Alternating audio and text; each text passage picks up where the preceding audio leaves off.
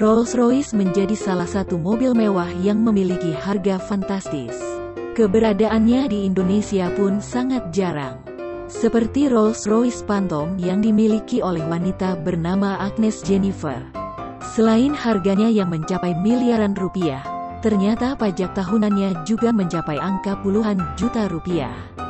Melalui akun TikTok pribadinya, Agnes memperlihatkan besaran pajak tahunan mobil asal pabrikan Inggris tersebut. Tidak main-main. Pajak kendaraan bermotor pokok sebesar Rp98.359.000 dan sumbangan wajib dana kecelakaan lalu lintas jalan sebanyak Rp143.000.